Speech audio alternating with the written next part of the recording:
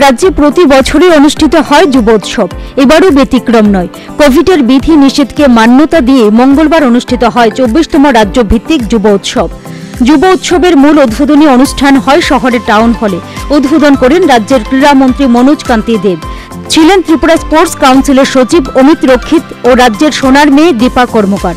যুব উৎসবে বক্তব্য রাখতে গিয়ে ক্রীড়ামন্ত্রী মনোজ কান্তি দেব বলেন, যুবকরাই দেশের কারিগর। জীবনে উন্নতির শিখরে পৌঁছতে হলে যুব সম্প্রদায়কে বিরত থাকতে হবে নেশার করাল গ্রাস থেকে। যুব সমাজ যাতে কোনো অবস্থাতেই নেশার কবলে না পড়ে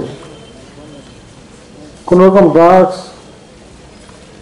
বা অ্যালকোহলিক যে কোনো নেশা হোক সেই নেশার সংস্পর্শে না যায় সে আবেদনটুকু আমি সব যুব সম্প্রদায়ের প্রতি রাখছি।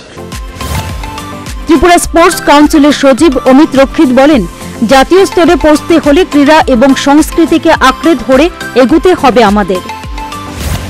আমাদের ন্যাশনাল ক্যারেক্টার বিল্ড করতে গেলে ক্রীড়া আর সংস্কৃতি এই দুটোকেই পাশে রেখে আমাদের চলতে হবে। যুবারা আমাদের ভবিষ্যৎ ওরাই আমাদের ভবিষ্যতের দিক নির্দেশ করবে। রাজ্যে সোনার মেয়ে তথা পদ্মশ্রী দীপা কর্মকার ছিলেন যুব উৎসবের উদ্বোধনী মঞ্চের মূল আকর্ষণ।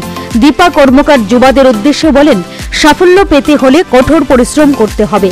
অক্ষরে অক্ষরে পালন করতে হবে শিক্ষক ও অভিভাবকদের পরামর্শ।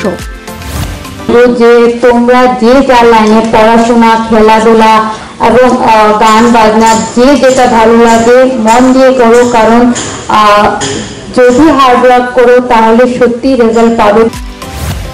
আগামী একত্রিশ ডিসেম্বর পর্যন্ত চলবে রাজ্য ভিত্তিক এই যুব উৎসব। Folk song, folk dance, Manipuri dance, classical, vocal সহ নানান ইভেন্টে পারফরমেন্স করবে প্রতিযোগীরা। টাউন হল রবীন্দ্র ভবন ও নজরুল কলাক্ষেত্রে হবে সংশ্লিষ্ট প্রতিযোগিতাগুলি। Bureau report, news Vanguard